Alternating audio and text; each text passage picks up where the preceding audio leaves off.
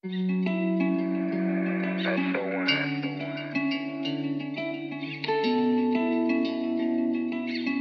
the hell you want? Hey, show me some respect, boy.